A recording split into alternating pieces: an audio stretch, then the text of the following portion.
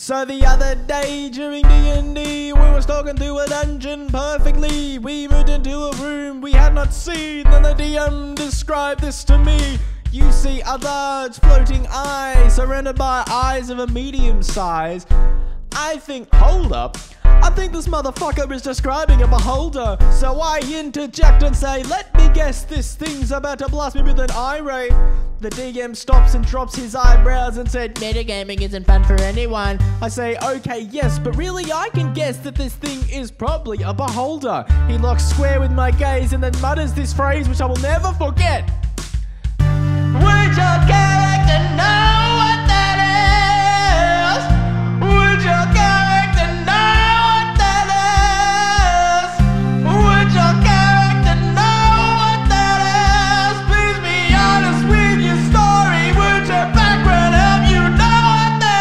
So what you're saying is all of this useless knowledge I have about D&D is just going to waste? No! But there still needs to be a clear distinction between the mind of your character and your own.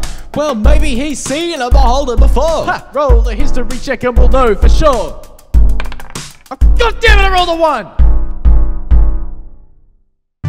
Would my character know what that is? Would my character know what that is? Would my character know what that is? I'll be honest, I'm not sure if my character would know what that is.